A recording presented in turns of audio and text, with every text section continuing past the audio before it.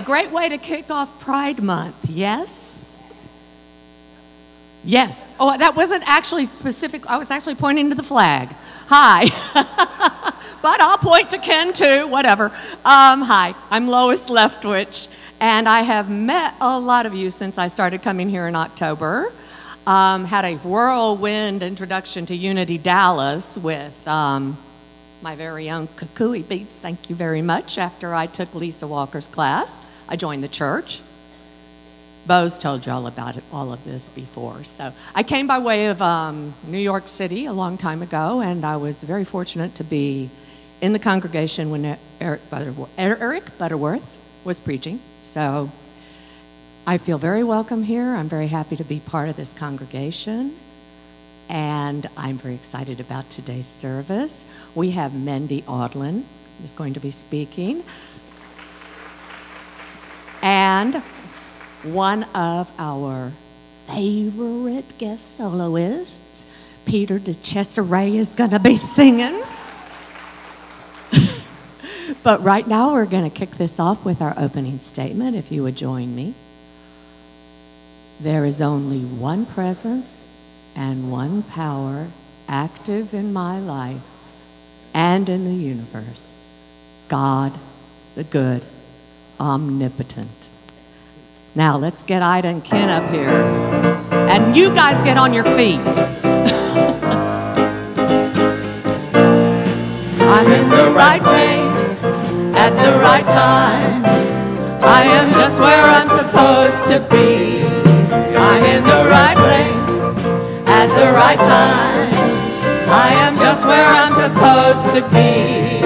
I'm in the right place at the right time. I am just where I'm supposed to be. I'm in the right place at the right time. I am just where I'm supposed to be. My soul is welcome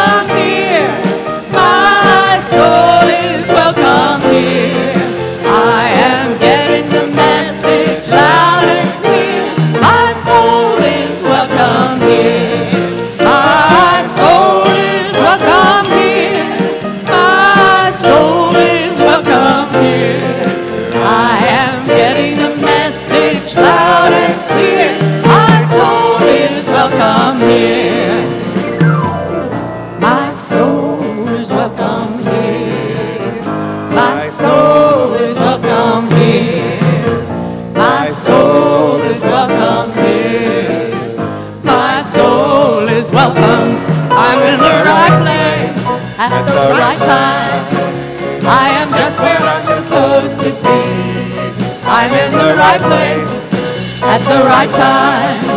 I am just what I'm supposed to be. I'm in the right place at the right time. I am just what I'm supposed to be. I'm in the right place at the right time. I am just what I'm supposed to be. My soul is welcome here. My soul is welcome here.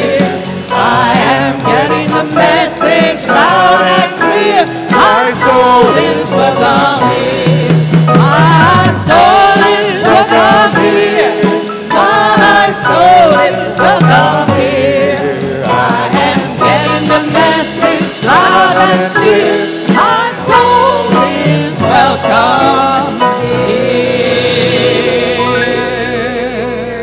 Big joy.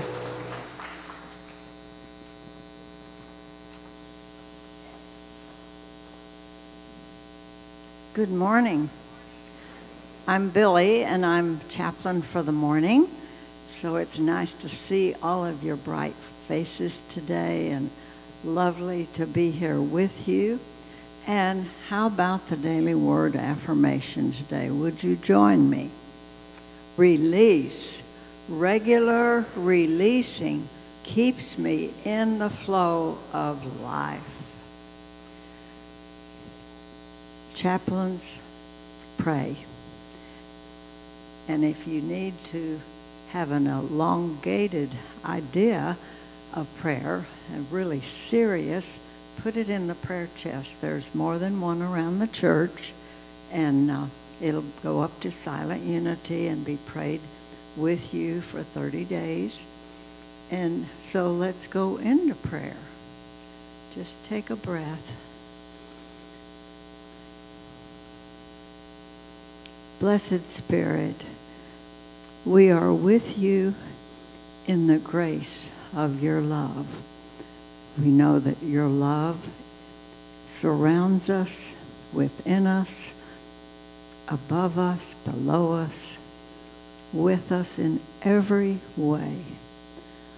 Whatever we have to speak with you about today, we do so in our hearts. Sometimes words are not necessary. Other times they seem to be. Whatever our challenges or our benefits of gratitude or of considerations of our abundance flow, our healing ideas and health, our relationship guidance, whatever it is, we are safe to go within and know that as sometimes we hear, almost hear, the words, you've got it. It's okay. It's all going to be okay. It's all going to be all right. What comfort we have when we hear those words within our hearts. So the gratitude overflows and all is well. In the name and through the power of our way shower, Jesus the Christ. Amen.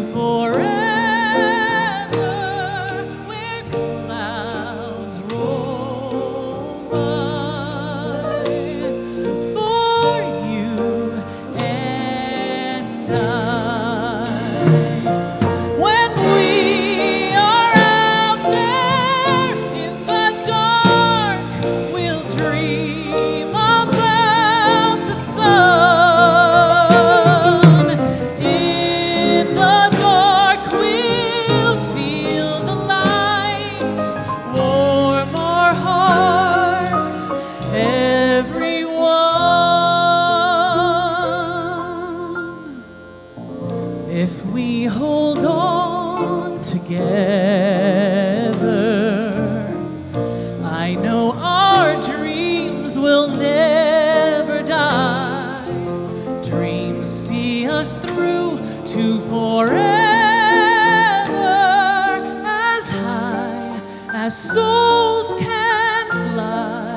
The clouds roll by for you.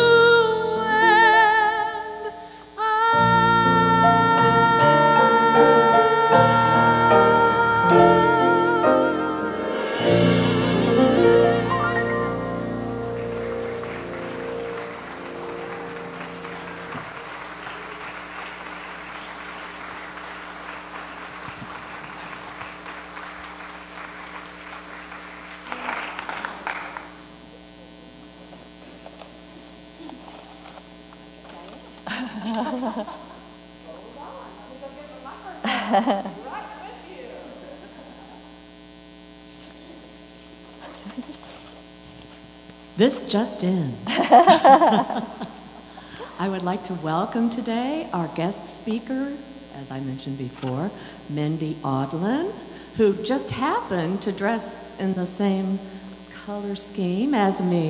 Like You'll get to see us together up here on stage. Come join me. Thank you so much. I'm sorry, I thought someone else was introducing you, so. It was meant to be. It was meant to be. It gave me time to gather all my stuff. That's right. And look, it's like we planned it. I know, it's wonderful. Thank you so much. Thank I'm you so, so much. glad you're here. It's great to be here. It's so good to be here with all of you. Yeah, I was watching your live stream from last week. So, by the way, hello to everyone on the live stream. Hello to all of you. Uh, I noticed last week you had uh, Kelly here. She was doing everything off her notes on her phone. I still use paper. Is that okay to still use paper? Yeah, and I even like I, I draw little pictures to help me remember. So I don't even print it out. so I am like way old school. And now um, I have to bring my reading glasses. So it's like a whole nother era for me. The last time I was here with you, May 1st, 2016, I was your guest speaker, and it was a very special Sunday because that was the Sunday, it was the very first Sunday for this new young minister that you had just brought in, James Buchanan. He, yes, we love you, James. We love you, James. He had just moved here. He was unpacking all of his stuff. It was the first day of the month, first day of the new job. He was here, but he wasn't uh, wasn't quite ready to do a Sunday talk. So, so uh, I got to come in and together. I remember that Sunday so clearly. I remember him wandering into the back of the room about halfway through, and I remember together. Those of us that were here, I remember saying this. I remember saying, "There will be a day. At the time will come. Come on up. Give me something to put all my stuff down." Oh, I have like my magic genie. Thank you, Spirit. oh, and isn't that cool? Thank you so much.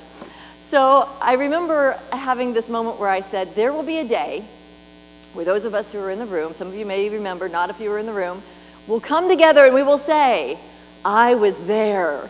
I was there on that day when James Buchanan was the new minister. And so here we are, seven years later. I offered a, a blessing to him, a blessing to the ministry, to his leadership, and to this church.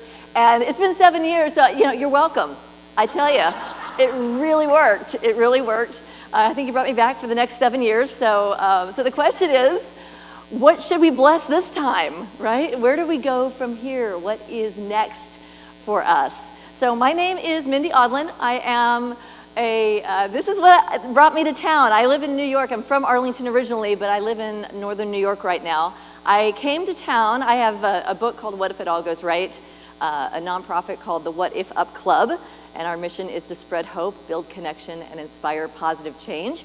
And that what, that's what brought me to, uh, to Dallas this week. I was speaking at a youth leadership conference.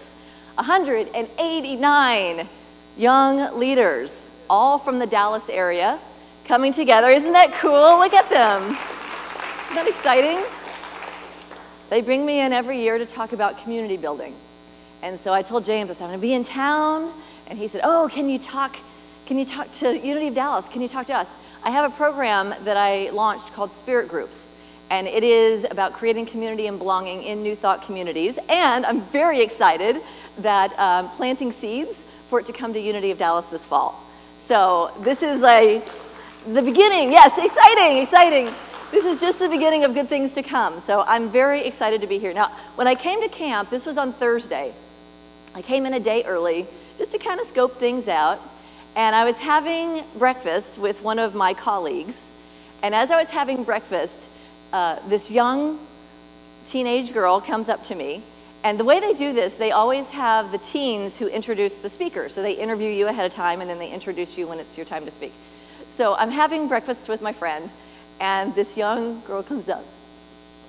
A like huge smile lights up the room, this enormous smile, and she comes up and she's like, I'm so sorry to bother you. Huge smile. I'm so sorry to bother bother you, um, but I'm I'm here to interview you.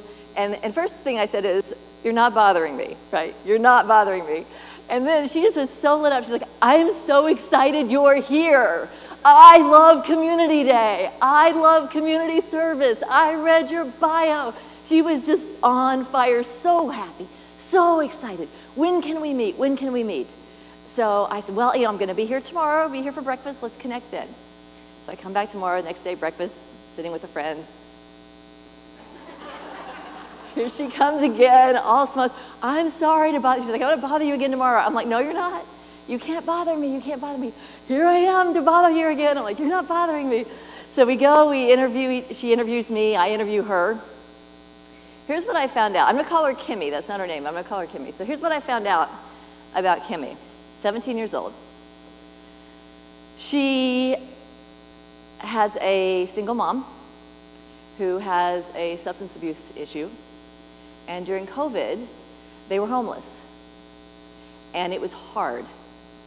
And during that time, she questioned how it would be possible to have a God that would allow so much suffering.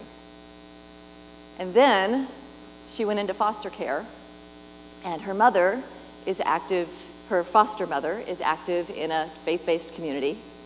Said, if you want to come, come with me. And she started showing up at this church, and she found belonging, and she found purpose and she found that the pain and suffering that she had been through could help other people, that she was empathetic, that she was compassionate, and her passion for community service was born out of that aching and longing. And she started to see, you know, my book is called What If It All Goes Right? I said, You're that. You are what if it all goes right? What if everything that we experience can be used for a positive purpose, can be used in a way that brings us joy and fulfillment and belonging. So that was the shift. And when James asked me to come here, I, I, I, went to this camp to teach how do you how do you not only experience that, but how do you create that? Right, so some of you maybe have experienced that. You've been here a long time and you have that sense of belonging. How do you create that? How do you make sure that the Kimmies out there in the world have a safe place to land? How do you make sure you're creating a culture where people feel welcome like that? So I have a, uh, this came out a month ago. This is in the news. It was sort of a big time thing in the news. This is from the U.S. Uh, Surgeon General. Uh, when was it? May 3rd, 2023. New Surgeon General advisory raises the alarm about the devastating impact of the epidemic of loneliness and isolation in the United States from the Surgeon General. And a desperate plea for people, for individuals, for faith based communities, for us to do something about it. So here's the statistics one in five adults suffers from loneliness, isolation, more than one, more than one in three teenagers experiencing loneliness and isolation. I had a mentor once, and I asked him, when I first was starting as a speaker, isn't that cute? As I was first starting as a speaker, I asked him, What's the secret to a happy life? And he said, Do the thing you love in a way that eliminates the thing you hate. Which is not a very unity answer, right? We wouldn't typically say focus on that, but this was before I knew unity, and it was a very thought provoking tidbit of advice for me. And I thought about what do I love to do? Like, I love to do this. I love, I love this. I love community building and speaking and teaching and writing. Like, I love this. And if there were one thing in the world that I could eliminate, that my life could help eliminate from the planet, it would be loneliness. I, I've been lonely. I'm one of those one in five. You know, I've gone through it. When I was a kid, I was, I was such a weird, awkward kid. You know, I had the, the braces and the big teeth and the glasses and the headgear and, you know, skinny and not cool. I had a speech impediment. I was so not cool. And it can be really tough, you know? And even now, like great family, wonderful resources, great connections. Even now, I still feel it. You know, I go through waves of that. What if we could eliminate that from the planet? So there's been a lot of research done on this. Connection, sense of belonging, fundamental to our survival, fundamental to our spiritual growth. Yes, would you agree?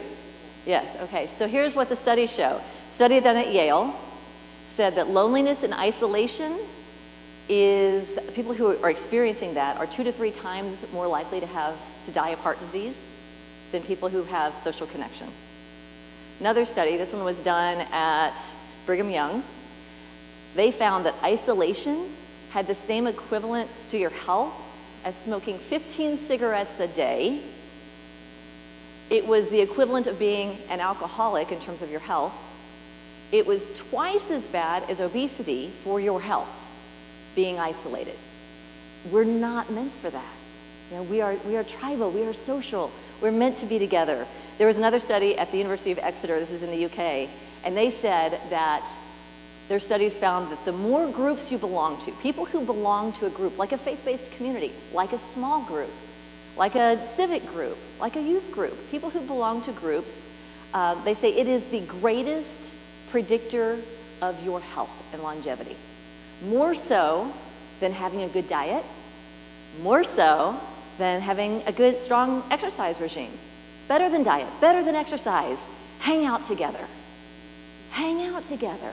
And the more meaningful those relations are, relationships are when you're together, the more the impact is. So that's what the studies find. We kind of are like, yeah, okay, that makes sense. I can feel that. So that's the challenge. So here's the challenge. There's a, you know, why is this so hard? Why is it that even though we all know this, and we all like, yeah, yeah, yeah, that's important, that's important, and yet one out of three teens are experiencing loneliness, one out of five adults. Why is it so hard to implement?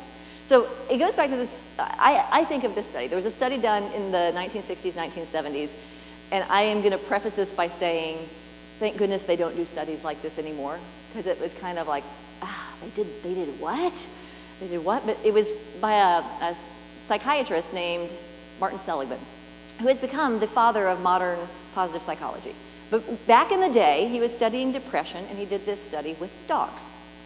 And the way they did this study was they wanted to uh, look at the uh, significance of just feeling like you're in control. So they had a group of dogs and they put them in this little contraption. Here's what it looked like. It actually looked like this. There it is. They put them in this little contraption and on one side, the floor would give little shocks. On the other side, no. And they put a little partition in there. So for the first group of dogs, they put them in there. When the floor would start to shock, they just they just hop over and they were fine. Very good. You can see where this is going, can't you? It's not good. So they did this with the second group, and with the second group of dogs, they raised, they raised the barrier. So you're going to get shocked, but there's nothing you can do about it. And it's random, and you don't know what's going to happen, and there's nothing you can do about it. And so for a while, they kind of try to figure it out, but you can't figure it out. There's no way out. And so these poor little dogs would just whimper in the corner. Nothing you could do. And then they'd do the test again, only this time they would lower the barrier. But this time, when the shock started, the little dogs would whimper in the corner. Even though there was a way out, they had learned that it doesn't matter what you do, it doesn't matter. You're not in control of this. They had learned that. And I think about this group of young people, and I think about what we've all experienced going through two years where you want to go out with your friends, but you can't. You want to go out to eat, but you can't. You have no control over this. You want to give a hug, but you can't. We went through two years of trauma being separate from each other. Two years of all the things that we wanted to do to reach out and connect, we couldn't do. And what does that do to us? So to me, it's not really a surprise that we're feeling anxious and depressed and that we're yearning to come back together, but we don't know how.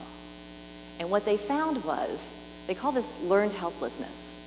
You learn. If you're in a situation where you don't have control, you learn there's nothing you can do, and so you stop trying. Like it happens with you know trauma people. You know it happens in the human condition as well as with these dogs. But what they also found was because it was a learned condition, it could be unlearned. And so what they did with these little dogs when they would be whimpering in the corner is they would literally pick them up and put them in a safe place. There is a safe place. And sometimes it would take several times. They wouldn't like immediately get it. Like, oh, I can get out of this? Oh, I can do something about this? I have some skills. I have some knowledge. I know how to get to a place where it isn't so painful. It took a while, but it could be relearned. And so that's my passion and my mission. You know, how do we equip each other for the skills, the tools, to be able to navigate those shocks, you know, navigate the, the tough spots in life? And when we see other people who are suffering, how do we help them get to that safe place? How do we show them there is a, a way, there is a way through this, there is a way to, uh, to step into your joy, to find peace. That's what unity is all about, right? There is a way. There is always a way. So that's the challenge. One of the things that I uh, heard from one of my mentors, they said uh, in small group ministry, uh, transformation doesn't happen in rows, it happens in circles. You know, so we can feed our brains together, we can deepen our understanding together, talk about the 12 powers, but to truly create transformation, we need each other. We need to talk with each other. We need to process things together. We need to be witness to the growth and the joy and the expansion of each other. So, so I have a, uh, a model. Here it is. This is, what, this is what the Attorney General says needs to happen. We need to strengthen social infrastructure. We need to find ways to get people together. And the other one that I'm passionate about is this last one, cultivating a culture of connection. Not just being in the same room together, but actually having meaningful conversations with each other. So how do you do this? I call this the five disciplines of love. And when, uh, when you do small groups, this is going to be part of the foundation. You're going to hear a lot about this. So this is just a tiny little introduction to the five disciplines of love that you'll be hearing about a lot as you start doing your small group work. So here's where it begins. The very first one, we call this communion because communion means with unity, with oneness. So the first step of this is your internal process, right? So it's your prayer practice. And thank you, Billye, like for holding that space. So Billye brought that together for us with prayer and meditation. That's a part of every small group experience we have. Uh, it is knowing that kingdom of God that is within you, and it is a huge part of what we do in the unity movement. So we're good at this one, right? So say communion, check. You got that? Check. Yeah, we got this one. Okay, easy, easy. Uh, the second one is connection. Connection is really fun. So I think about uh, what it must have been like. Think of Jesus. He had his 12 disciples. He had his small group. He had his group of you know guys, and they travel around. And I think wouldn't that have been fun? Don't you think that would have been really fun? Like, hey guys, road trip, where are we going next? You know, let's travel together and let's have a fish cookout by the sea. And I bet they really had some fun together. So there's a certain part of connection that's just enjoying each other's company. You know, having, I, when I was here with you for Easter and we, we got to enjoy a meal together afterwards, I, that's just fun. It feels really good and we need that. We need that playfulness. We need that time together. So I think of communion and connection as Ah, the inhale. It's like breathing in spirit. So take a deep breath in just to feel how good an inhale feels. Nice big inhale. And then, of course, once you inhale, what do you want to naturally do? Exhale. So what's the exhale? So this is the inner journey. And then we, we, then we're full so that we can then reach out with compassion. So think about in the book of Matthew, they're out there they're doing their preaching thing and they're on the road and jesus says to his disciples he's like you guys go ahead. You know, sail off to that distant shore. I'm going to do my communion practice. I'm going to go up and spend some time praying on the mountainside on the mountaintop. I'll catch up with you i'll catch up with you. So that's communion. So jesus is saying i need my time for quiet reflection and then I'll catch up with you. And so he has his mountaintop experience, and then he goes and catches up with his disciples. I kind of picture him being like, can you imagine, like, I'm just going to catch up with them, right? So he's like walking on the water. They're out on the boat. He's walking on the water. Can you imagine them? I mean, now if it was like today, they'd be like, "Do you see this? Do you see this? Like, like I got to post this on Instagram. This is a pretty cool." So I just imagine them being like, "What is that?" And it says at first they were scared. They didn't know what it was, and then like, "Oh, MG, that's Jesus!" Like here he comes, and I kind of picture him being like, ha, ha, ha, "This is cool, right? This is cool. Look at me." you didn't think I was going to do this, right? You thought I was going to sail after you. I kind of think maybe he, maybe he had a little fun with some of that.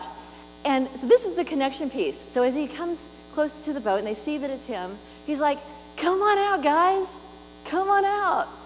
Do this with me. Let's, let's play at this level together. Doesn't it feel good when you can find people that can play at a really high spiritual consciousness? Come on out, guys.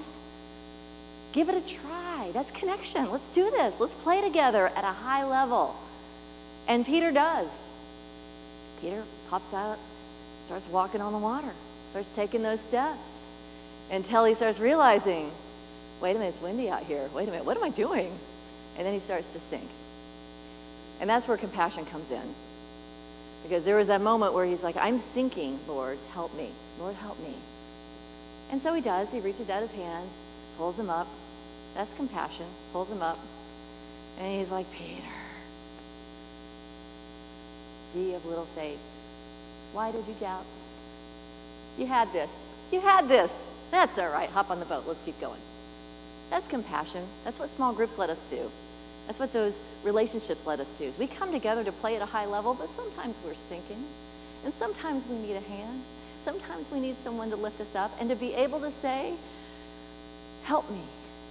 I need your hand right now. Can you help me? And have people that are there for you always. And can not only help, but also do a little debrief. you know, thanks for the debrief, Jesus. All right, I've grown a little from this experience. And then they go to the next of the C's, which is to serve. So we have our community, we have our spiritual community, and then we have those that we serve beyond the community. And Jesus showed us that as well. So I have this team that I'm building and developing, and then together this team goes out and serves in a bigger, bigger capacity. That's the exhale. Let's take what we've gotten, let's take our personal growth, our meditations, our walks in nature, all the things that we do so that we don't get triggered, all the things that we do so we can remember who we are. Let's take all of that work, that inhale, and give it back to the world in a way that grows and expands. So the final of the five C's is challenge. You know, I can breathe in, I can breathe out, but can I breathe in deeper? Can I have a better, can I have a stronger impact? Can I expand my impact? And what they found when they got back to that next distant shore was word is out. And I wonder if the word was out that, hey, Jesus was walking on the water. Did you see that? I mean, I think that's pretty amazing. But I suspect that maybe the excitement was for a moment, even for a small moment, Peter did it too. Isn't that exciting? Peter did it too, even if only for a few steps.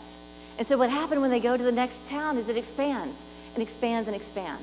So that's, that's the process of learning and growing in all of these disciplines. To me, they are an expression of love God, communion, love each other. Love each other by having fun together. Love each other by reaching out a hand. Love each other. Love those people that you've never even met. And then when you feel like you really just like got love going on everywhere, then love more. Love more, expand. How big can your heart be? And that's the work that we get to do together. And it's done really well, really beautifully in small groups. I was reading, uh, listening to a podcast as I was flying here by, um, oh, what's his name? What is his name?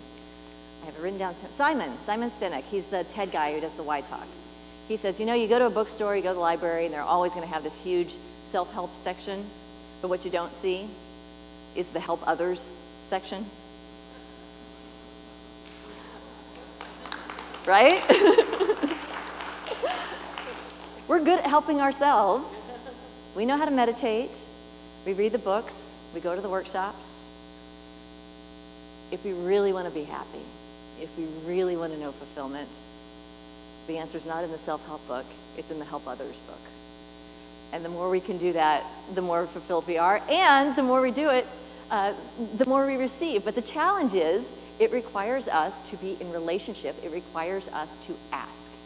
And I was thinking about this in the ministry of Jesus as well. Like, it seems like he just went and served and served and served. I saw a Facebook post yesterday, and it was like, if you feel drained from helping other people, then go into your self care. Go be by yourself. Go take your walk in nature because you're depleted from serving other people. And I would say there's another option. Like there, that communion practice is important, but there's another option. That other option is to be in community with people where you give to them and they give back to you. Right? So there's a flow, but that requires us to ask. And Simon asked, he said, What's more comfortable? Helping someone or having someone help you? What's more comfortable? How many of you would say helping someone's more comfortable? Yeah, how many of you say having someone help you is more comfortable? like, nobody. One, yes, yes, and you've got your joyful dog here who does that so well. Um, so, yeah, what's more comfortable? So, it is uncomfortable for most of us to ask for help, and that is why it is such a gift. That is why it is such a gift, because it allows others to serve us. So it's one of those weird paradigms. So, how do you know if you know something? because you live it, right? How do you know if you know something? I think there's a Charles Fillmore quote that goes something like that. So, how do you know if you know something? So, I'm going to play a little game with you. So, I, I invite you to open your imagination and we'll just have a, little fun together if you're up for that. Okay, so I want you to imagine that I hold in my hand a golden ball of yarn. And imagine that I'm going to here, I'm going to take the end of this golden ball of yarn, and in a moment, I'm going to throw it up in the air, and something magical is going to happen. I'm going to hold on to the end here, but as I throw it up in the air, it's going to splinter into lots of different little balls of yarn, and one of them is going to land right in your lap. It's going to be really magical. So, are you ready for this? Are you ready to catch? All right, here it comes. Here it comes. And I'm going to give you a, a one, two, three, and I'm going to throw it. Ready? One, two, three. Did you catch it? Did you catch it? Okay, so I've got my side here. So do you feel like where the string is attached to the ball of yarn, can you feel that space? So if I tug on it, can you feel it? You feel the string tugging a little bit? Oh, I feel you tugging back. I feel that. I feel that. So here's the game. So I invite you to, if you're able, I invite you to stand up. Let's play a little bit. Hold on to your ball of yarn, hold on to the string, and here's the game. I'd like to see how, how connected we are. So, for those of you who are brand new, uh, this, this may be uh, like really easy. Like, okay, so uh, if, if, you've been around for a long time, it's going to be a different experience. So imagine you have this ball of yarn. Imagine this yarn is just full of, of golden love. What I want you to do is look around the room and look for someone that you recognize. Maybe you recognize them from the bookstore. Maybe they open the door for you. Maybe someone you've been in a class with. Look for someone you recognize. And when I say one, two, three, throw, then you're going to throw, you're going to hold on to your string, but you're going to throw that ball of yarn to that person that you recognize. Are you ready? Now, know that if you if you don't recognize anybody, then you can have a seat. Like if you're like, this is my first time here, I don't know anybody, just feel free to have a seat, all right? So you're like, okay, and then you can just hold on to your thread, you know, hang on to that, we can use it later. But if you recognize somebody, are you ready? Do you know who you're gonna throw it to? All right, one, two, three, throw it. All right, so catch it, catch it, catch it. Somebody just threw you something. All right, good. All right, so now, here's the next level. You ready? Next level. As you hold it, so if you just caught that, if you just threw it and you just caught it, Here's the next challenge. So now, you know, you have a little more thread, grab a little more thread. So now look around the room and look for someone who you know by name. You could call them by name. If you don't know anyone, if you're standing and you don't know anyone that you could call by name, then have a seat. If you see someone you can know by name, then I invite you to identify them. We're going to throw on three. Are you ready? You throw your ball of yarn to them. One, two, three. Throw it. There you go. And catch it. Make sure you catch it because then You've got it on the other side. You're doing so good. You're doing really good. Okay, so now move this. You now got a little more thread. You got a little more thread. All right, so if you're still standing, now you have another ball of yarn you just received. So imagine, look around the room and look for someone that you know something personal about them, not just their name, but you actually know something about their life. If you can't see anyone like that, then have a seat. But if you can, you see someone you know something personal about their life? And when I say throw, we're going to throw that ball of yarn. Ready? One, two, three. Throw it, throw it. There we go. All right, catch it, catch it. You got this. And then you get a little more thread, a little more thread. Okay, you're doing really good. So here's the next one. You now hold another ball of yarn. If you look around this room, those who are standing, look around this group of those who are standing, if there is someone, someone different, who you have personally helped in some way, you've listened, you've opened a door for them, you've served them lunch. If you've served them in some way, identify someone. And if that isn't you, then just have a seat, that's fine.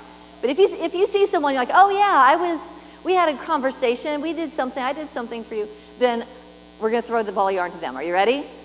One, two, three, throw it. And catch it, and catch it is coming to you. There it is, there it is. Catch it, you got it? All right, and so move your string a little bit more. And the final one, so if you're still standing, as you hold that ball of yarn, look around the room, those who are still standing, look for someone that you have allowed to help you.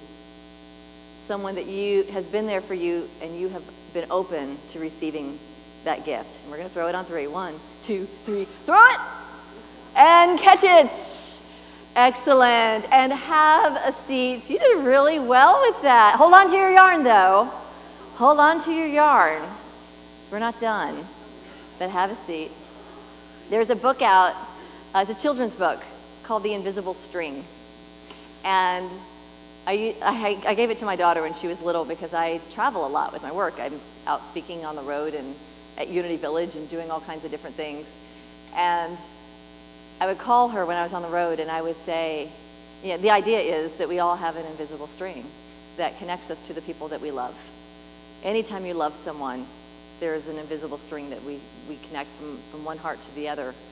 And that anytime we're feeling lonely or separated, that all we have to do is tug on that string and we'll be able to feel that that person is still there, whether they are on this physical plane or not. So I would call my daughter and I would say, hey, I'm pulling on my string. Can you feel it? Our string, I'm pulling on it. And she'd say, yeah, yeah, yeah. I'm pulling on the string now. Do you feel it? Like, yeah, yeah, yeah. We're connected through this invisible string. And anytime you need me, you pull on that string and I'm going to be there. I'm going to feel it because we have that kind of connection. So here's the next level of challenge as you look at your golden ball of, of yarn. I invite you to look around the room, glance around the room, and look for someone that you don't know, but someone that you think, I would be really interested in getting to know that person. They just, something about them looks interesting to me. Something about them makes me want to have a conversation with them.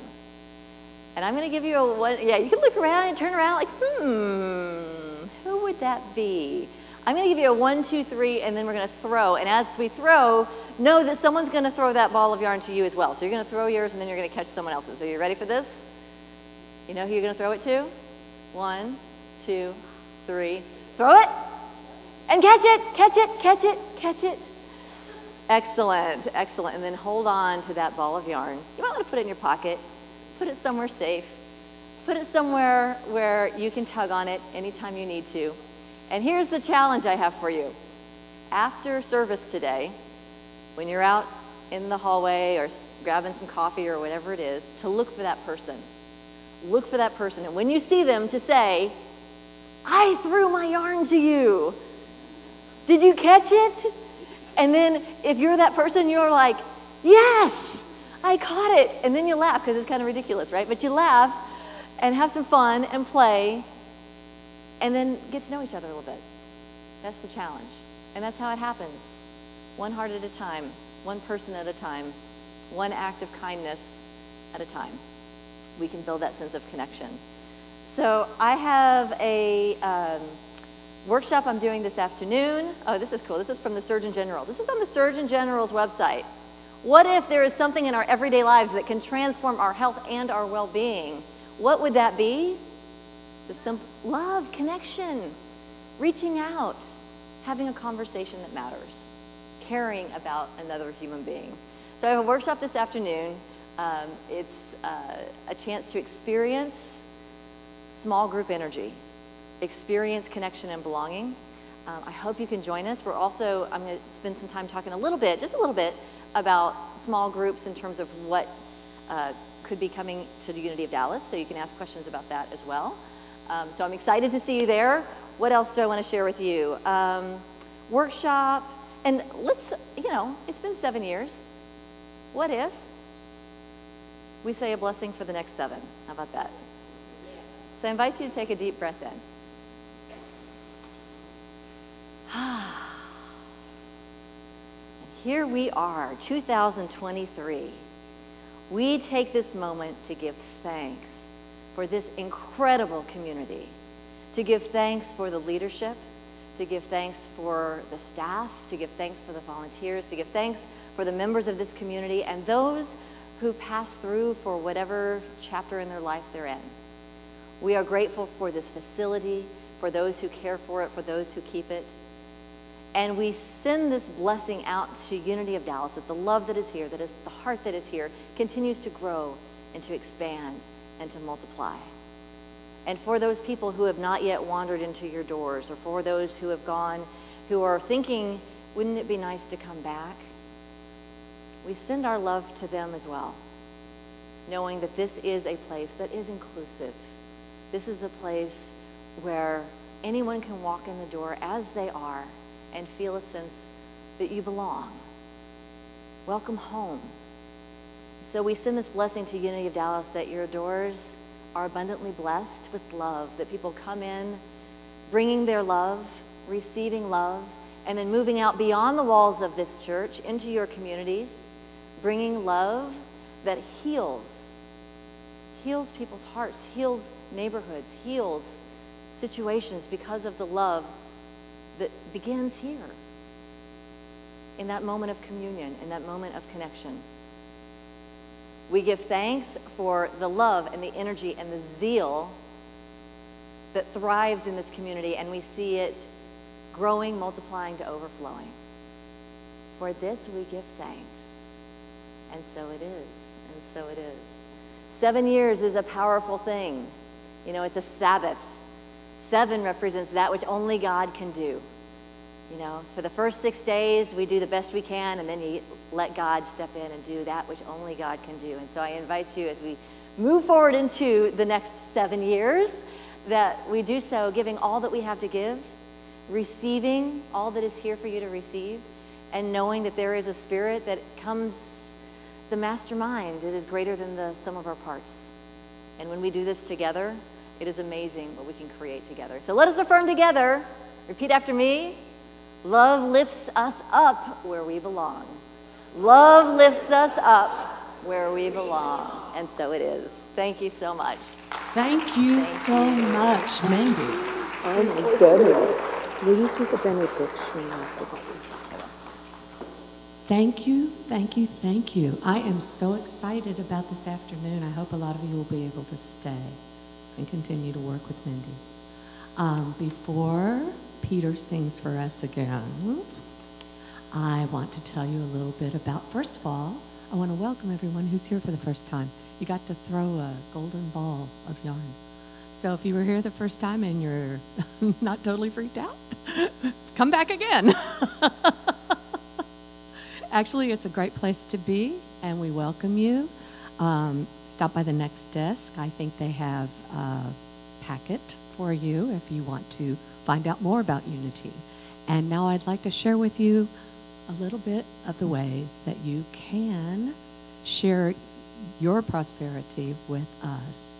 And we have several different gift stations around the church where you can leave cash or a check. That's the old fashioned way.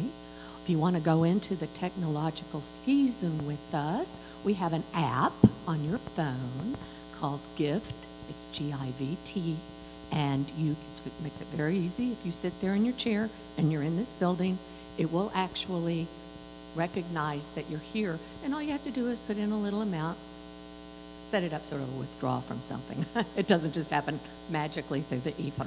But um, we also have a little scanning thing, I think, that you can scan with your phone in the things that look like the old fashioned plates that people used to pass around, which we don't do anymore. Now you have to go to the plate, the plate doesn't come to you. Um, and we also have a website, unitydallas.org, and there's a donate button at the top of the screen that you can click on, and you can donate that way. Oh my gosh, it's so easy. If you feel so moved, please share your prosperity with us, and we share ours with you. Now, offertory blessing, if you would join me. Divine love, as me, blesses and multiplies all that I am all that I give and all that I receive. Thank you, Spirit. And now, Peter.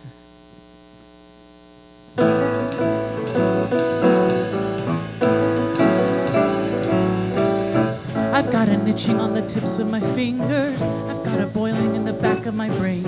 I've got a hunger burning inside me, cannot be denied.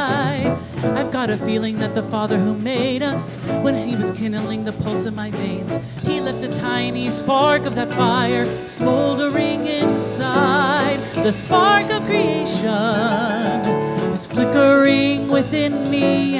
The spark of creation blazing in my blood. A bit of the fire that lit up the stars and breathed life into the mud. The first inspiration, the spark of creation.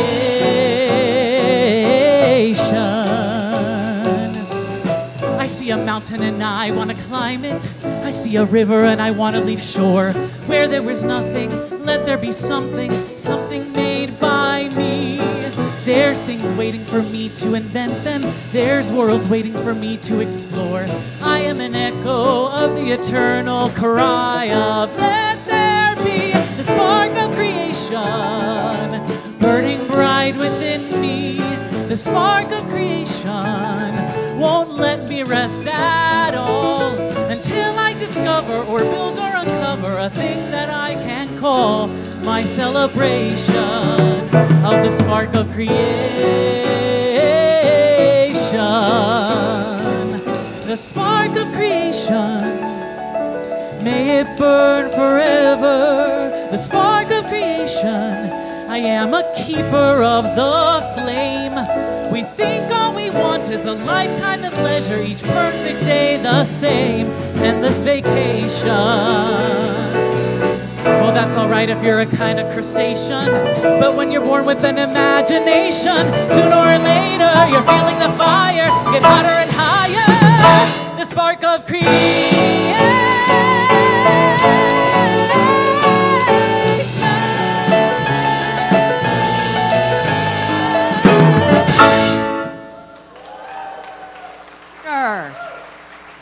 DiCesare, Bob and the band.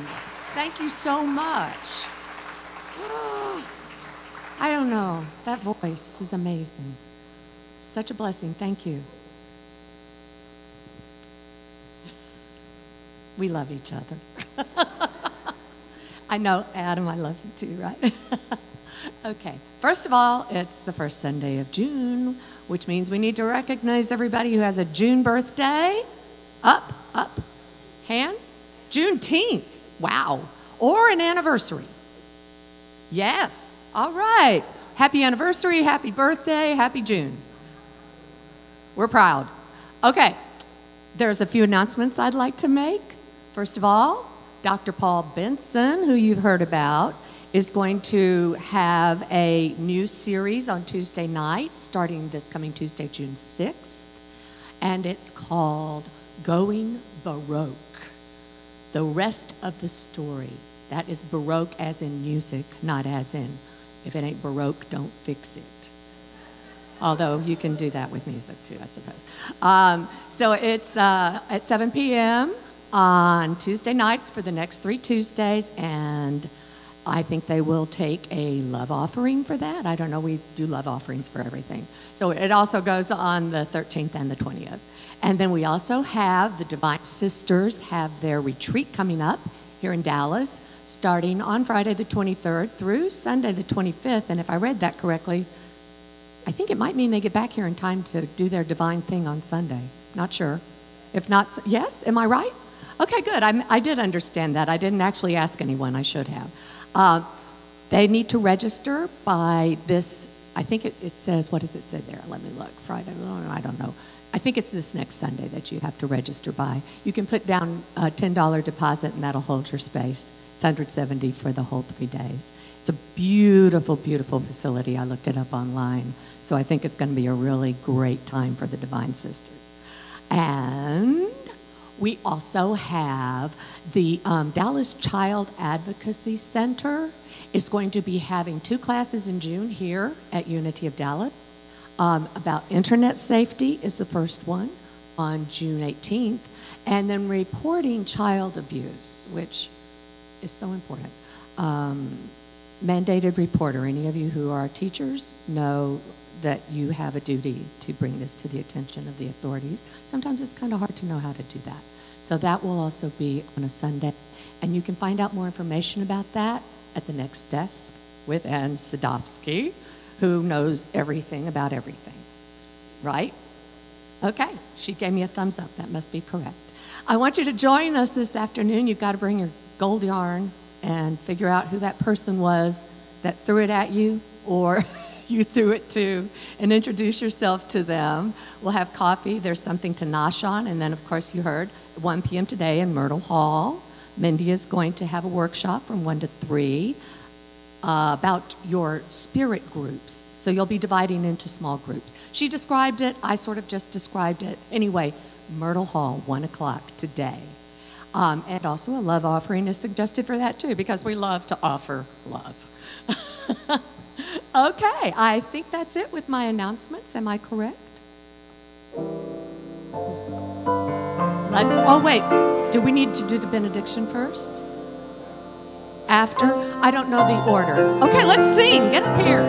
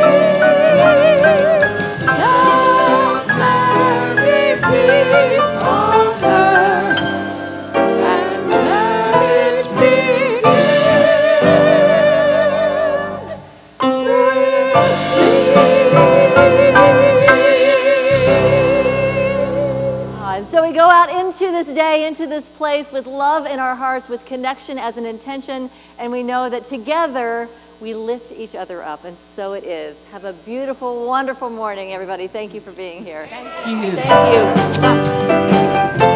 Thank you.